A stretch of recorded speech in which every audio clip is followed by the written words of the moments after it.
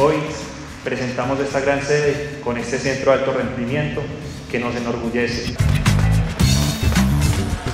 Estamos un paso adelante de muchos clubes en Latinoamérica y en esa búsqueda de la excelencia y de mantenernos al más, al más alto nivel vamos a seguir buscando pues obviamente cuáles, cuáles son los mejores métodos de preparación y sistemas de preparación para seguir ahí.